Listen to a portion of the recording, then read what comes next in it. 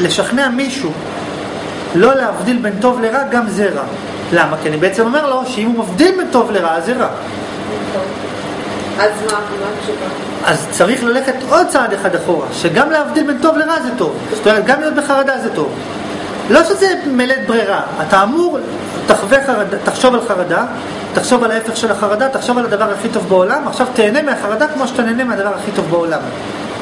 עכשיו, הרעיון הוא שאם אתה תצליח, עכשיו, איך אתה יכול ליהנות מחרדה כמו שאתה נהנה מהדבר הכי טוב בעולם? בדיוק כמו שדיברנו על הכאב. חרדה זה כאב. כאב, והוא כואב הרבה יותר מאשר פיזי. לכן, כשאמרתי לך, נגיד לגבי, נגיד, אה, קהילת שליט, בינינו, בתכלס, הסבל הוא לא פיזי, אף פעם. הסבל הוא נפשי. הסבל הוא נפשי, סבל נפשי הרבה יותר קשה מסבל פיזי. תתעלל בבן אדם בצורה חולנית פיזית, כל זמן שיש לו תקווה או שיש לו איזה אידיאל שהוא למענו מוכן לסבול, לא, אין לו בעיה עם זה.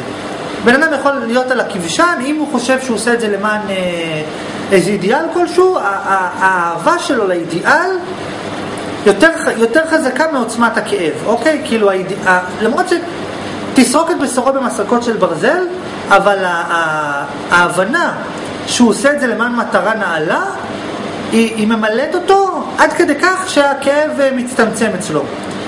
אז את- הבעיה האמיתית היא כאשר אין לך את האידיאל ואתה סובל. זאת הבעיה. זאת אומרת, כשאתה, הכאב הנפשי שאין לך בשביל מה, זה הסבל הרציני. לכן אמרתי שבגן עדן הרבה יותר גרוע, כי כשאתה בגיהנום, אתה אומר, טוב, אולי בגן עדן יהיה טוב, אבל כשאתה בגן עדן, אין לך כאילו לאיפה להתקדם. בכל מקרה, מה... מה, איך הגענו לזה? אה, על חרדות, על חרדות. עכשיו, הרעיון הוא שהסבל הוא בסופו של דבר נפשי. עכשיו, אתה לא סובל מהחרדה. אתה סובל מכך שאתה לא רוצה לחוות חרדה. הסבל הוא לא מהחרדה, הסבל הוא מכך שאתה לא רוצה לחוות חרדה. מה אמרנו קודם על, ה, על הספק שיש לך? הוא לא מכך, הוא גם מזה וגם מזה. הוא אף, תביני, קודם כל אין גם וגם, בסוף יש סיבה אחת, מזה או מזה, יש אחד, שאתה לא רוצה לחוות חרדה. כשבן אדם הולך ללונה פארק, הוא הולך למתקנים של החרדה, הוא נהנה מהחרדה? כן. כשהוא הולך לסרט אימה, הוא נהנה מהחרדה? כן. למה? כי הוא רוצה. נכון? זאת אומרת, למה הוא לא נהנה? כי הוא לא רוצה. זה מה שאמרתי לך קודם על הנושא של לעבור דירה או לא לדוגמה. הסבל הוא לא מכך שאתה לא יודע אם לעבור או לא, הסבל הוא מכך שאתה לא מצליח להכיל את זה שאתה לא יודע. אני לא רוצה לחוות חרדה, אני לא רוצה לחוות חוסר ידיעה. ומה, ומה הפתרון? הפתרון הוא תרצה לחוות חרדה כמו שאתה רוצה אה, לחוות את ההפך של החרדה, נגיד אה, שלמות, ודאות. ואיך אני יכול להגיע לכזה מצב? על ידי שאני מגיע להשתוות של האין רצון. אם אין לי רצון, אז, אה, אז אם אין לי רצון, ממילא אני לא יכול לסבול מחרדה. דרך אגב, מתי אין רצון? כשאין בחירה. אם בן אדם היה חווה שאין לו בחירה, לא היה לו רצון. אתה לא יכול לרצות כשאין לך בחירה.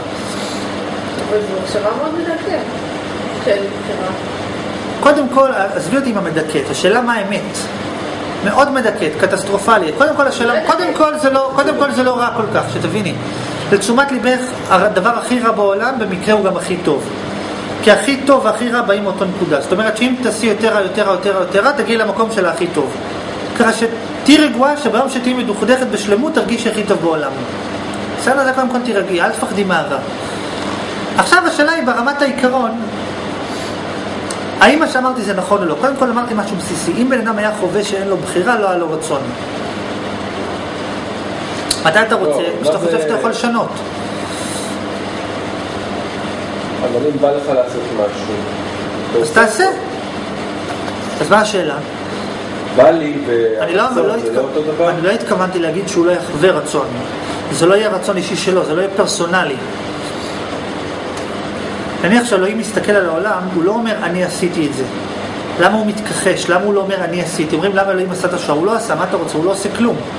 יש כאלה שאומרים הוא עושה את הכל, הוא עשה גם את השואה. איפה הוא היה בשואה? הוא, הוא עשה אותה. עכשיו, שני הצדדים נכונים, אוקיי, כי מי עשה? בסופו של דבר הוא עשה. אבל מצד שני אפשר להגיד שאלוהים לא עושה שום דבר אף פעם. כי כשהוא שואל את עצמו, אבל למה רציתי? הוא לא יכול לתת לעצמו תשובה למה הוא רצה, כי הרצון שלו נוצר מעצמו במרכאות. זאת אומרת, מבחינתו של אלוהים הוא בכלל לא רצה, הוא בכלל לא בחר את זה, מה אתה רוצה ממני? כאילו, מה, אני לא, לא, לא רציתי, בשום שלב לא רציתי. כל העניין של התכלית גם היא זה שטות אחת גדולה. אם, אתה אומר, אם הולכים בכיוון הזה. כי, לשאול למה זה להניח שיש סיבה. סיבה. מעט שצריך להגיע אליו, כל כן. שמישהו תכנן את זה כדי להגיע למקום X. אז אומרים, טוב, בוא נבדוק האם יש תכנון, האם יש רצון.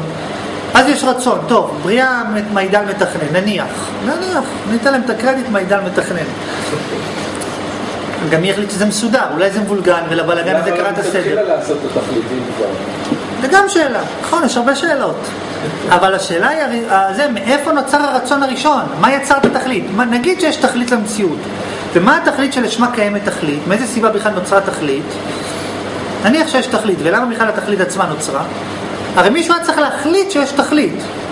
התכלית של לעשות טוב, ועכשיו בשביל זה נברא עולם. אבל מראש למה מלכתחילה בכלל החליטו לעשות טוב? אמרת לכן, אין לזה, אתה לא יכול להגיד שיש תכלית. אבל אף על פי כן, יש דבר, כן יש במציאות שלנו תכליתיות וחוסר תכליתיות. תראה, אני חייב לתת לך נקודה. אם בן אדם היה מבין שלשום דבר אין סיבה, אבל במוחלטות, הוא היה מבין שלכל דבר יש סיבה. כי אז זה אומר שכל דבר הוא הסיבה של עצמו.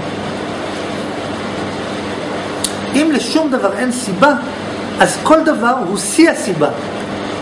אתן לך דוגמה, נגיד שאנחנו, נגיד שאני עושה פעולה. למה אתה עושה את הפעולה? בשביל התוצאה. זאת אומרת, יש סיבה למה אני עושה את הפעולה, בשביל התוצאה, אוקיי? אבל זה אומר שמה שאני עושה זה לא מספיק טוב, לא מספיק חזק. למה? כי אני עושה אותו בשביל משהו אחר. זאת אומרת, אין לו זכות קיום בפני עצמו. הוא נעשה בשביל סיבה.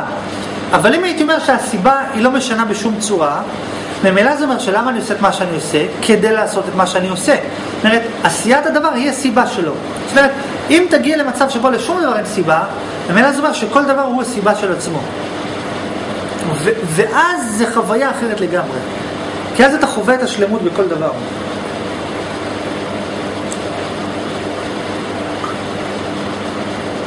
מה זה רע?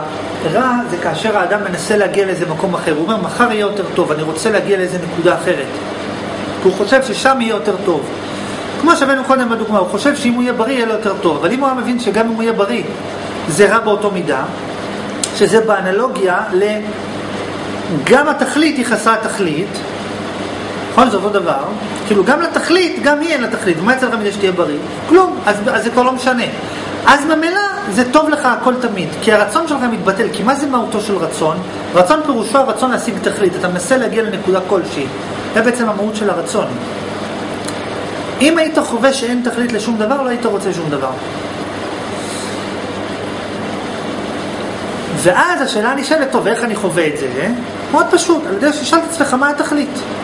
ואם תחקור ותנבור מה התכלית, תגלה שתכלית, יש תכלית ואין תכלית זה אחד, ואז ממילא אתה תמיד תחווה את התכלית.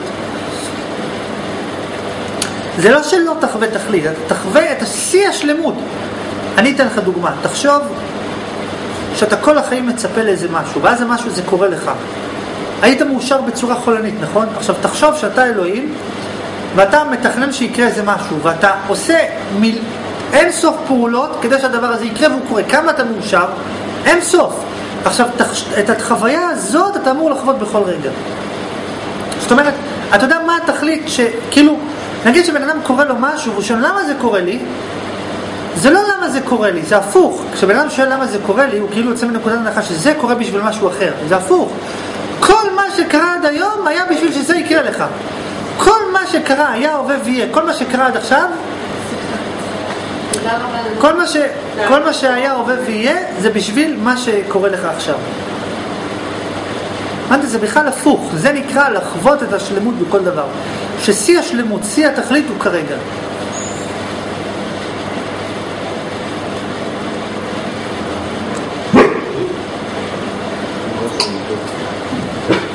שאלות. זה כמו בעצם שהעולם נברא מחדש בכל רגע, נכון? כאילו בשביל עצמו, בשביל... זה המהות של המושג סיבת הסיבות, הוא הסיבה של עצמו. אתה בגלל שאתה אמרת שהתעסקת בזה, בוא נראה לך משהו נחמד. יש בעיקרון שתי אפשרויות. או שיש סיבה ראשונה, או שאין סיבה ראשונה, או, ש... או שיש לפניה עוד סיבה. או שיש סיבה ראשונה או שאין. אם אנחנו אומרים שאין סיבה ראשונה, הכוונה שלכל מסובב יש עוד מסובב, עוד מסובב עד אין סוף. נכון? עכשיו למה שני הדברים הם אותו דבר? לכאורה יש פה שאלה גדולה, אני אשאל אותך שאלה, תגיד לי, מי, בר, מי ברא את אלוהים? אז או שהוא תמיד היה קם, או שמישהו ברא אותו עד אין סוף. עכשיו למה זה אותו דבר בכלל? נגיד, של, בוא נלך על הקונספט של סיבה ותוצאה. אם נגיד שלכל סיבה יש סיבה, יש סיבה עד אינסוף, ממילא מצד האמת אין שום סיבה לשום דבר. כי אין שום נקודת